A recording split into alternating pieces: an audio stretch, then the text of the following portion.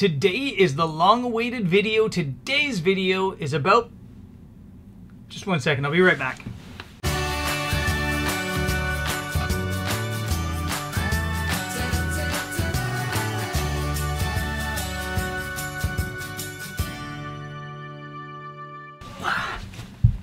Today's video is about pitching. Needed the paper to do this. Today's video is about pitching. It's about pitching as a travel photographer or really a photographer of any sort or a travel writer. Hell, to be honest, this video is about pitching in general. Now, before I get into pitching in general, I want to do a little bit of a little bit of bitching. Now, maybe not so much bitching, but hard truth. And this is the hard truth, people. You should not be pitching photography as a business if your skills aren't there yet. It blows me away a little bit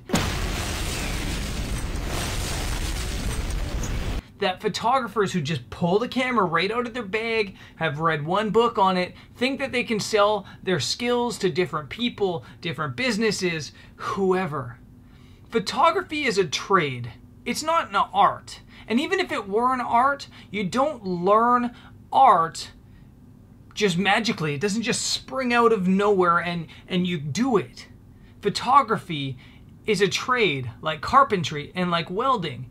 And you, as a consumer on the other end of the business, would never hire a carpenter who didn't know how to carpet properly. Now, that's not to say that photography doesn't have art aspects of it. Of course, it's an art. You create beautiful things. Just like a carpenter can make really sturdy, ugly looking cabinets, or they can make beautiful cabinets. But if the cabinet doesn't stand up and if it doesn't hold books, it doesn't matter. So you as a photographer or a writer or whatever your trade is need to put the time and effort into learning the trade before you can sell it to people. And if you try to pitch before you're ready to make money from your business, you've already failed.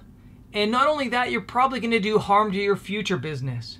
So do yourself a favor. As a photographer, don't start pitching until you're confident in your skills. Hard truth number two comes to those skills, and that is as a photographer, and I think as an artist in general, we're so used to people giving us positive reinforcement. We all think we're awesome. But guess what? We don't. We all suck. If you can't read my writing, I'm sorry. It's I'm, I'm not I'm not an artist. I'm a tradesperson. You see? We all suck. We all kind of suck, at least when we start. We're not as good as we think we are. And because of all the positive reinforcement we get from our friends and from our family, we get it in our heads that we're amazing. All of your friends and family are going to tell you you're amazing. They do. That's how they do it. Look, I drew a picture of it, so it must be true. Everybody, you, your photography. Go on to Instagram, for example and look at any photographer's work. There's a thousand comments, they're all, wow, you're amazing. There's very few that are like, hey dude, it's a bit noisy. Hey man, it's not sharp enough. You need to find people in your life that are willing to give you constructive criticism. Not criticism, constructive criticism. That way, we all suck until we don't. We'll all get there eventually, and it's not a bad thing to think you suck. It means you have the chance to improve, and it means that you're already being critical of yourself, which is good. Now, I'm done with the bitching. Let's get into the pitching. And at the end of the day, there is no right way to pitch people. But there are a lot of bad ways to pitch people. So these are some of the things that you should avoid when pitching. The first is bad, comma, grammar. Bad grammar, bad Kelsey Grammer. Bad grammar will kill a pitch right away. And the reason it kills a pitch right away is because whoever's reading that pitch will think it's sloppy and messy and think that your work is going to be sloppy and messy as well. It has nothing to do with the fact that it was a typo. Typos happen. It has to do with the fact that you didn't spot the typo and that if you weren't willing to put that attention to de detail into the pitch, you probably won't be willing to put that attention to detail into your work either. Now, I have an interesting situation when it comes to this in that I've been on both sides of things. I used to own a travel magazine. I received thousands and thousands of pitches. And now I'm on the side of things where I'm sending pitches and it makes it a little bit easier for me and I think it gives me grounds to explain things a little bit better. At my magazine, I received so many pitches that were sloppy and they were bad. And the people that were sending those pitches were fantastic and talented, and they were geniuses, some of them. But I had no trust for them because I knew that if they were sending a pitch in that was that sloppy, that their work might not be sloppy, but it might not come at all because they really don't put the time and effort into things. Now, I would get pitches from people that weren't nearly as talented, but they were reliable, and I knew they were going to be reliable because they used proper grammar and because they read over their pitches when they were done with them and that they corrected things and that they were organized. And i knew that if they were that organized in their pitch they'd be that organized in delivering me their product at the end of the day as well. Next thing you can do wrong. I feel like this video is really negative so far you know me i'm really positive but i'm sorry i'm being negative but it'll get positive later on i promise what is the next one Oh yeah, the second thing you can't do wrong is you have to have brand awareness. You have to prove to whoever is reading your pitch that you know about them, that you understand them. So in this little diagram I drew, this dude saying, "Oh, I love McDonald's. It's my favorite health food right now." I love the McHale sandwich. I love the McHale sandwich. Everybody loves the McHale sandwich. You need to know the brand and you need to prove that you know the brand and you need to prove you know what the brand's to want. Those are really important things. If you don't show that you care about the brand, they're to think that this was just a random pitch that was sent to a thousand different people, kind of like a shot in the dark. You have to prove to the brand that you care about them you have to prove to the brand that you understand them. And you have to prove to the brand that what you do is going to help their brand and their brand's image. Because the number one most important thing to the brand is their image. And you, as a professional, have to try to amplify that. So if you prove you don't understand the brand, they're never ever to hire you. Next thing you can do wrong. what is this? Oh yeah, your pitch can't be too, too long. You can't have long pitches. This pitch says, you, you can read what that pitch says. This pitch is really long and boring. I'll be honest with you again. When I had my magazine, if I got a pitch that was really long, I wouldn't even read it. I'd be like, okay, this is more than six paragraphs. I'm just throwing it in the trash. I don't have the time for that. And you got to understand the position of magazines and newspaper editors. You got to understand the point of view of PR people and brand and the brand people that are putting together campaigns. They get a lot of pitches, thousands of them, and they don't have a lot of time.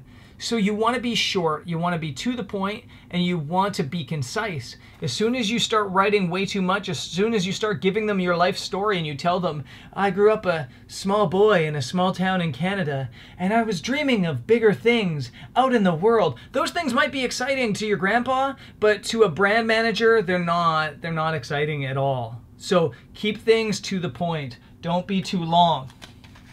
Next thing you can't you can't do wrong. Next thing you shouldn't do wrong.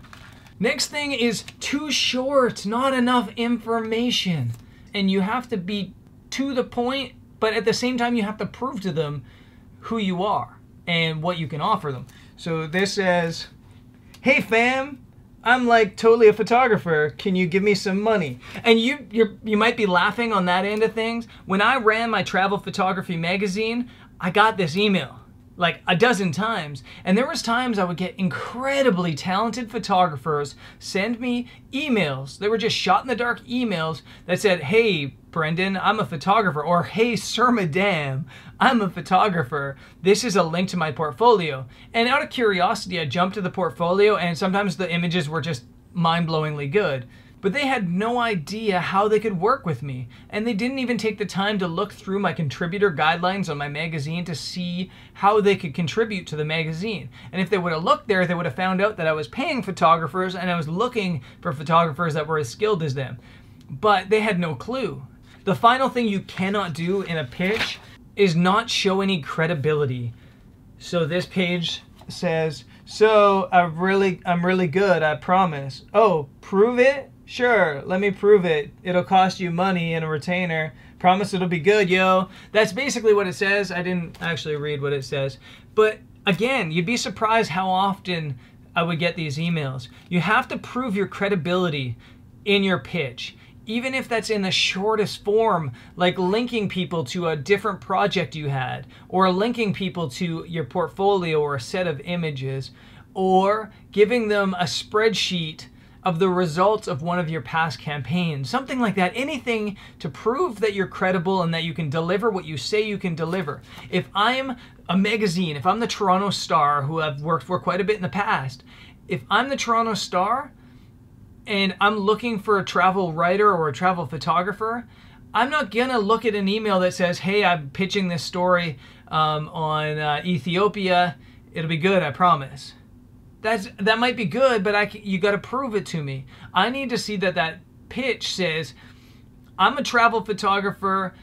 I'm in Ethiopia right now. Here's a link to 20 of the images I took on the trip, and here's a couple links to past articles I did for the Globe and Mail or New York Times or anybody, even if it's your local paper, just somebody to prove that you can deliver what you say you're going to deliver." So those are all the things that you cannot do in your pitch or you should avoid in your pitch. Now let's talk about actually constructing the pitch. And I want to talk about three things, three theories, I guess they would be, from Socrates, which are ethos, pathos, and logos. Now, these aren't Socrates' philosophies or hypocrisies. Can't define will I be dropping these lyrically performed armed robberies. These are methods of appeal. Let's start with ethos. Ethos. Ethos is ethical appeal. Essentially, it's your credibility. It's an appeal to the brand using your credibility. Is pathos. Pathos. Pathos is a pathetic. I said that really funny. Is a pathetic appeal. A pathetic appeal means an appeal to their emotion, to their emotional side. Now, what does that mean? That doesn't mean that you're trying to make them feel bad. You're not like the skinny dude that's like, "Yo, I'm a I'm a starving artist, feed me." And the big fat brand guy's like, ha, corporate greed made me fat." That that's not what I mean. What I mean by emotional appeal is by proving that you and the brand are one and the same. That you complement each other. That you should be working together because you're family, yo. And the third appeal is logos. Logos is the appeal to the logical side of things. Essentially, you're saying, hey guys, this is why it's gonna work. You're saying, that's all I've got to say about that in the Forrest Gump voice. And the brand's going, that totally makes sense. That's why this is going to work for both of us. That's why we're going to be successful. I like that. It's logical. That's ethos, pathos, and logos, and your pitch should have all of that. So now that you know your methods of appeal, involve them into your pitch. So let's structure that pitch right now. This is really awkward because I have no idea if this is showing up or if it, I, I, I'm just wishing for luck that this all works. This is essentially what your pitch should look like. And it shouldn't be too long, it shouldn't be too short, it should be concise. And on top of it, I just had an idea. If you click on the link in my description, it's going to take you to a template or two pitch templates in one Word doc that'll basically outline what your pitch should look like for you to send to clients. But let me run through it quickly here. This is what your pitch should look like. It should be an intro, 50 words, no more than 50 words. And it should be 100% ethos. It should be, my name's Brendan. I'm a travel photographer from Canada my work has been seen in The Guardian, Toronto Star, etc., etc. Then you should have a project description. Your project description should be no more than 100 words, but that really depends on the project, and it depends on your relationship with the potential client. For example, if your relationship with them is brand new, it should just be to the point. It should include pathos. And now, how do you include pathos in that? That's the tricky part. How do you get emotional appeal into your description of your project? You're describing your project, but the way you get that emotional appeal into that is by proving that you and the brand are somehow connected, that you and the brand are one and the same, that you and the brand can work together to take over the world, and that you love and appreciate the brand, and that the brand loves and appreciates you in return, or could. So your project description somehow should try to involve that, and it should also hit them with the ethos. So to hit them with the ethos, send them links to different projects you've done in the past that are similar. It gives you the credibility. Or if you don't have any similar projects in the past, give them some sort of excerpt or examples. Again, just ethos like crazy up in here. Those examples can come in the form of a portfolio with a couple images, or if you're doing travel writing, it can be an excerpt from the potential article, like 50 words uh, from the story that you want to write for the for the newspaper or whatever. So that's how you hit them with the ethos in your project description. You move down here and you got the costs. Now the costs are going to hurt the brand. When the brand sees the cost, it's going to start losing attention. So you want to keep the costs as brief as possible. Don't give a big long description. Just give them the cost. And one of the worst things you can do in cost is trying to use pathos. As soon as you try to use pathos in the cost, it makes you seem weak and like you're begging for money. So don't do that. Just hit them with the cost and be done with it. Let them move on to the next section, which is logos. And the logos is going to be your outro, the logic. Working together is logical. Both of us benefit. I get a job, and you guys get brand awareness. You get some good photos or video, or you get your article, and that's amazing. And then, thank you. Don't forget to thank people. I, am blown away by how many people leave an email without saying, thanks for taking the time to read this pitch. Thank you. Also include your contact information, which is helpful at the very end as well. Now, obviously, a pitch is going to be different for every single client. If you're pitching a newspaper or a, a magazine, don't follow this. Don't follow that. Don't do this. Don't follow it go to their website and there's always gonna be contributor guidelines. Within that page, it'll have exactly how they want you to send in your pitch. So don't follow this to newspapers or magazines if you're trying to contribute a story because they're going to have the contributor guidelines on their site. And if you don't follow them, it proves that you don't care and you didn't do your research. Before I end this video, you guys are going to be saying to me right now, but who am I pitching? Who should I be pitching? Everybody.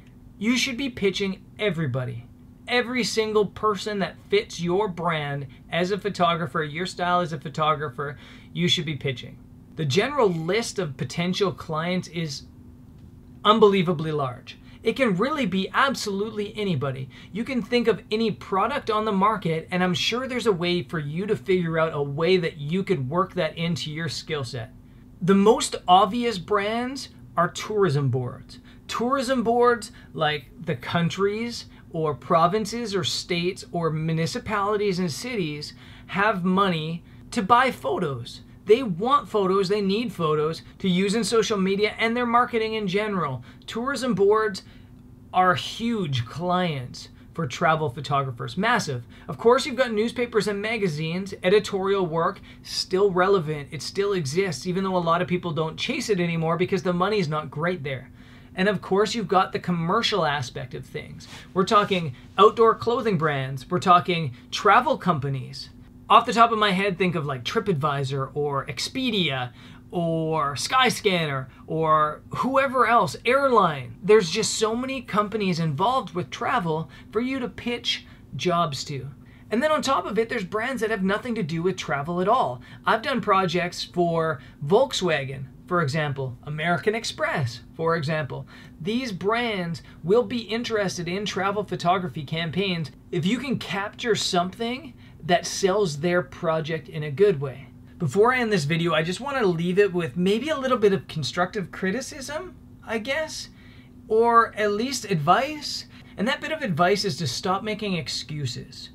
People who are successful are those who go out and get what they want without waiting for somebody to show them how to do it. People that are willing to go out and just get what they want. And until you make that decision in your life to go out and get the projects you want, to grow your business the way you want to, it won't grow. I also want to end this video with a bit of a challenge to you guys. The year my business started to really grow was the year I decided to take control of it from a business side of things. And I did that through a challenge to myself, the same one I'm giving to you guys right now. And that challenge was 365 days of pitches. I sent a pitch 365 days a year. And yeah, there was days I missed it, but then I just send two the next day. And that year, I've never felt so much denial in my entire life, so much rejection. And that's normal. In this industry and all industries, you're going to get rejected 95% of the time. In fact, if you get rejected only 95% of the time and you're pitching 365 days in the year, you're going to make a lot of money that year. You have to get over the rejection, you have to learn from the rejection, you have to figure out how you can fix things and adjust things so you don't get rejected so often. And you just got to move on and move forward and grow and take the good when you get it. You might get rejected 250 times in a row. That doesn't mean that the next project's not going to be a huge hitter that makes you enough money to last you the entire year. So, if you're really interested in growing your photography business, if you feel like your photography skills are already at the level that you should be making money, then I issue you that challenge. Go out and send 365 days of pitches. And remember that in the description of this video, I've left you my template for my pitch. And it's simple, it's not that confusing. And I just want you guys to take some of the lessons from this video, the things not to do and the things to do in your pitches into account when you build your own pitch and I wish you guys all the best. I really want to see your businesses grow as much as I want my own business to grow. And that's what this channel is here for. This channel is to help you guys grow or try to help you guys grow, um, while at the same time learning from my mistakes that I've made and learning from the things that I've done right. So I hope this video was helpful in that regard. I know it's a long video. I know that my writing is terrible and my drawing skills are even worse, but I, I, hope it was helpful to you guys. And tomorrow I'm heading back to Madrid because I'm going to the Philippines. And hopefully we'll make some money there. But if not, I'm traveling the world. And I'm so excited about that. And this career is just awesome. So if you're interested in travel photography as a career, it can be a struggle, but it's worth it. It's worth every bit of struggle and so much more. Um, and yeah, that's all I'm going to say about that, as my boy Forrest Gump says. So I'll see you guys on the next episode. Peace.